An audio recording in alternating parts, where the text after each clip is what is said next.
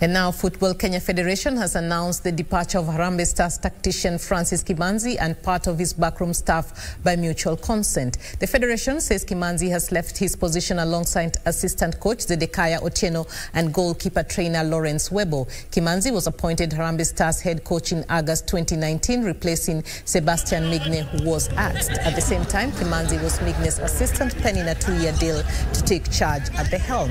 Kimanzi's exit came just days after leading Stars to a 2-1 win over Zambia's Chipolopolo in an international friendly tie played at Nyayo National Stadium.